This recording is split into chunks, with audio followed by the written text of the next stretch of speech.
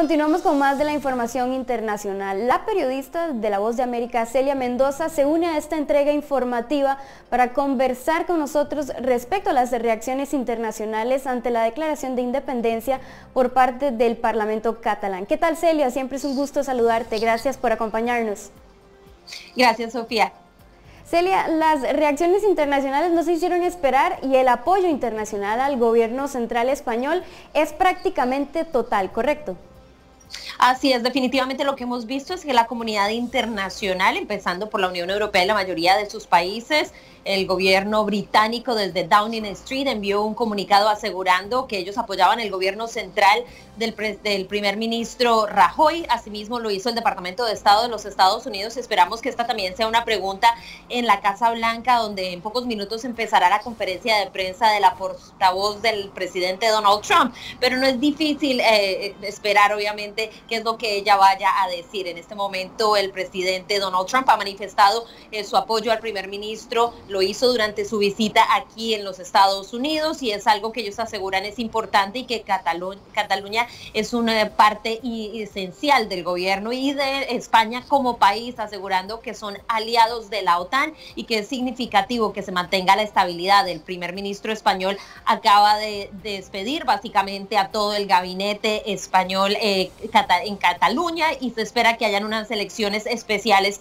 el 21 de diciembre. Esto es algo que obviamente está siendo apoyado por la comunidad internacional y hay que recordar que también el Senado español emitió una resolución eh, después de acudir al artículo 155 de la Constitución que indica que en cualquier caso como este en particular, donde una de las provincias eh, trate de separarse o ejecutar algún tipo de maniobra de este tipo, tienen la capacidad desde el gobierno central de tomar acción y esto es lo que estamos viendo en este momento. En la cumbre de la Unión Europea se dijo que este bloque no se iba a inmiscuir en esta crisis, un bloque que de hecho sigue ocupado con el Brexit.